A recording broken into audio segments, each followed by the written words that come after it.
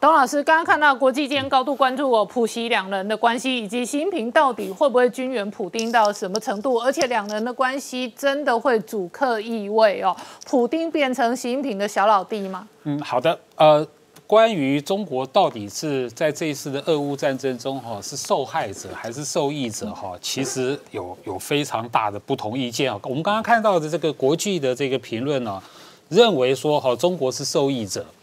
为什么他讲了四点意见？第一点就是说呢，中国没有向这一场战争发射任何的飞弹，甚至是子弹。嗯，所以中国现在是唯一的军事强国，不缺武器弹药的。嗯，所有的军事强国现在都缺武器弹药，都投到了战场上了嘛。嗯，第二点哈，中国从制裁里面获利，所以说呢，用低价，好像这个俄罗斯哈大量购买了石油、天然气，还有一些煤炭嘛，哈，所以获利。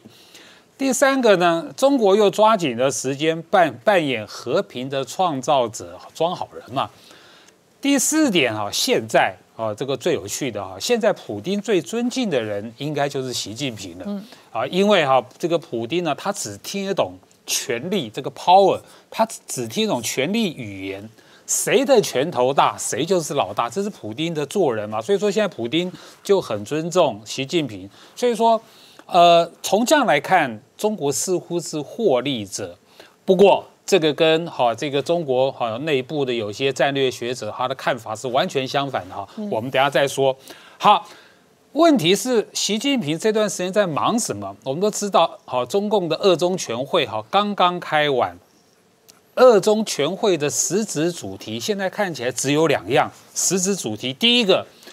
在国内外好鼓动这个反美的情绪，所以你可以看见哈这个中共中央哈这个第第一级的媒体哈最近哈发连续发表了好几篇文章在批判美国，譬如说新华网啊就出了一篇文章，美国的霸权、霸道、霸凌啊极其危害哦，这个是有顺口溜的呃三霸，OK。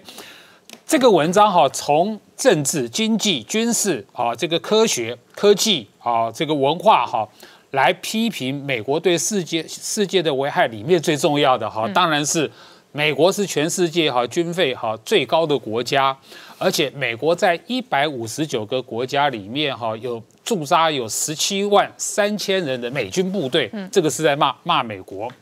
好，那央视呢，当然也出了一篇文章。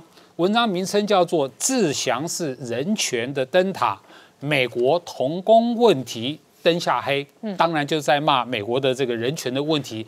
这个中共最喜欢骂美国的人权问题，有犯罪、有童工、有种族、有污染等等哈。所以说，这个这个中共哈不会放过批评美国的。我是觉得是这样子哈，美国是有缺点，不是不能批评。不过看这个中共批评的方法哈。它其实主要不是针对美国，也不是针对全世界，它主要是针对自己的中国的老百姓，让中讲给中国老百姓听的。为什么？证明共产党的专制独裁的合法性，证明习近平的伟光正，嗯，伟大光明正确嘛。所以说呢，当然好借这个机会用文革的语言好在反美，这个是二中全会的第一个实质主题。第二个实质主题就更好笑了。中共中央发下了新的通知，新时代加强法学教育与法学理论。嗯，好，那中共的法学教育、法学理论呢？哈，呃，讲穿了就是习近平的法学思想，里面只有两个重点。那两个重点都非常简单：第一个，反对西方宪政主义，反对三权分立，反对司法独立。嗯，OK，好，这个我们能理解。第二个，习近平的法学思想的第二个重点，党比法大。嗯，习近平亲口讲的。为什么党比法大呢？各位观众，你会很觉得很奇怪吗？习近平这么解释：因为 只有共产党的存在，才会有法治。嗯，法治是依赖共产党而存在的。